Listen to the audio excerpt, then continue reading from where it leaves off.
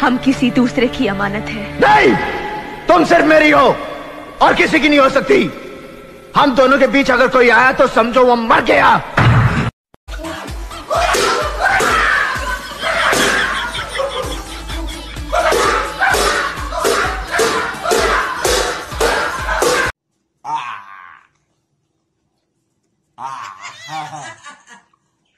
Ha ha ha.